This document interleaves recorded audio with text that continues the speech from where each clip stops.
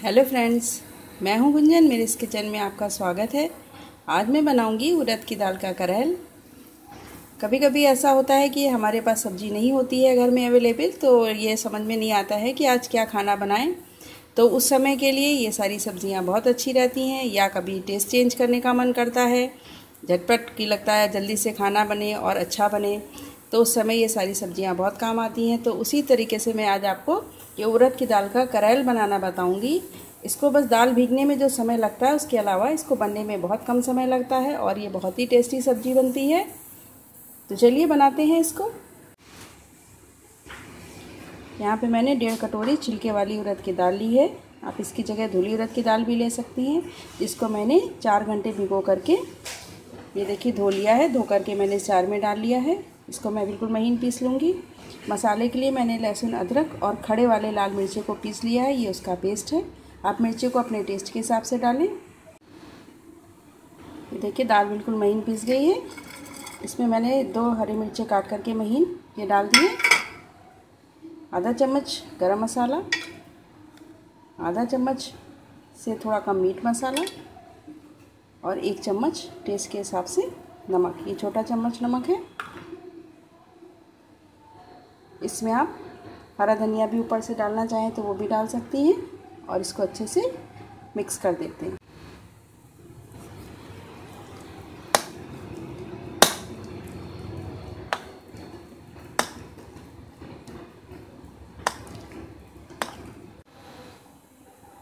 देखिए कढ़ाई मैंने चढ़ा दी थी, इसमें मैंने दो बड़े चम्मच ऑयल डाल दिया, ये ऑयल गर्म हो गया है। इसमें सात से आठ ये मैंने मेथी के दाने डाल दिए। जैसे मेथी के दाने चटकने लगे, अब इसमें जो मैंने अभी लहसुन अदरक का पेस्ट पीसा था,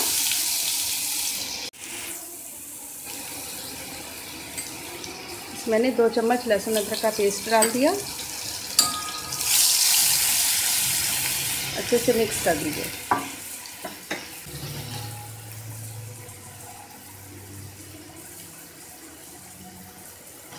देखिए लहसुन अदरक भुन गया है। इसमें मैंने ये कुटी लाल मिर्च ये आधी चम्मच डाल दी है, और एक चम्मच ये मीट मसाला पाउडर।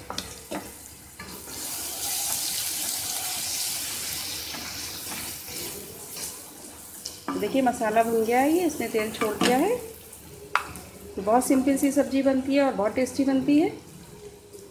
तो जैसे ही मसाला भुन जाए, इसमें आप रसे वाला पानी ये डाल दीजिए। इसे मैंने एक कटोरा भर के पानी डाल दिया है और इसमें फ्लेम तेज कर दीजिए। नमक डाल दीजिए टेस्ट के हिसाब से।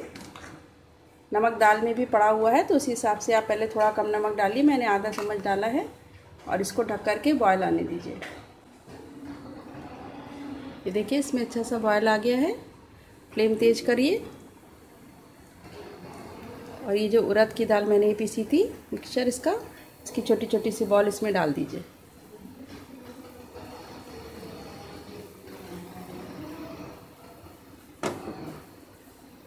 अगर आपको पानी कम लगता है तो इसमें आप पानी और बढ़ा दीजिए। इस तरीके से सारी बॉल डाल दीजिए। अगर आपको दाल ज़्यादा लगती है तो आप दाल थोड़ी कम कर सकती हैं इसमें।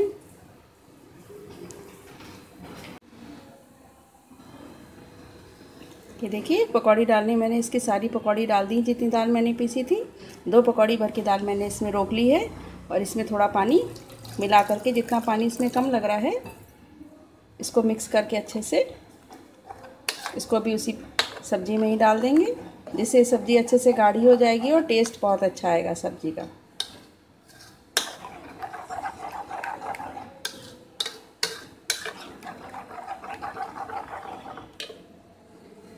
ये देखिए, इसमें ये डाल दीजिए।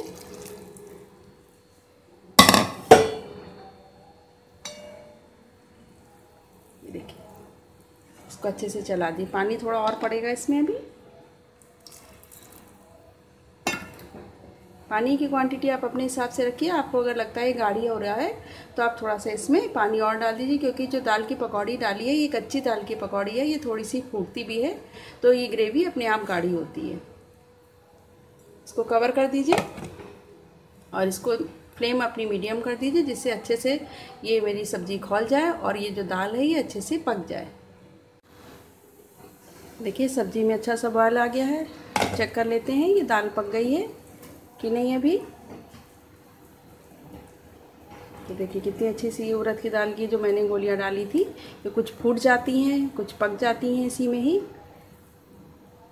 तो देखिए ग्रेवी कितनी गाढ़ी हो जाती है इस तरीके से।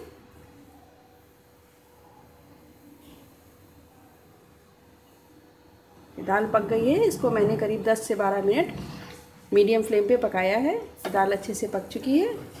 मेरी सब्ज़ी बन करके तैयार हो गई है।